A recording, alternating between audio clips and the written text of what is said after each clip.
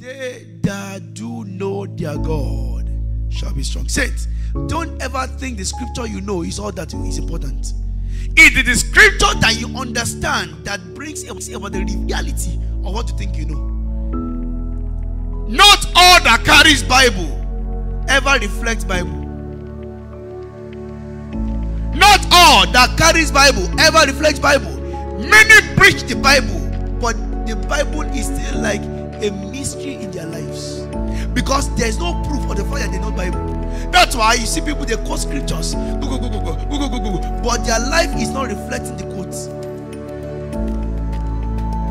They that do know, not they that used to know. They that do know, not they that claim to know. They that do know. That continuous present tense.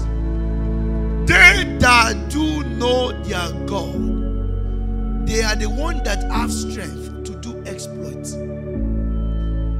So I like us to review and evaluate ourselves and ask yourself, do I know God as expected or I claim to